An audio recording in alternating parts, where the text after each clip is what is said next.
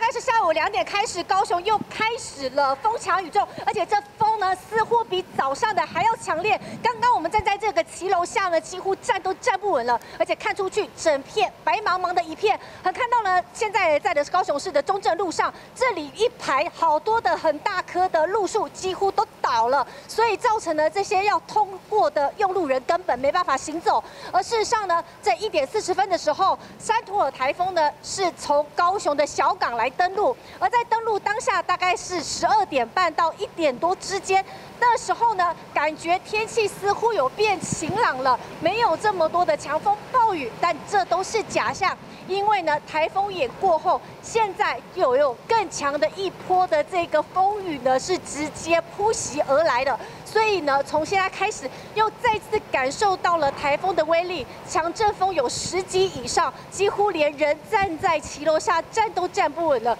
何况是在马路上的机车还有汽车呢？所以也提醒民众，现在呢，高雄市区有非常多的路树倒塌，以及鹰架呢是这样子被铁皮整个被吹掀开来的，所以在上路的话，其实是非常危险的，也提醒大家没事真的不要出门。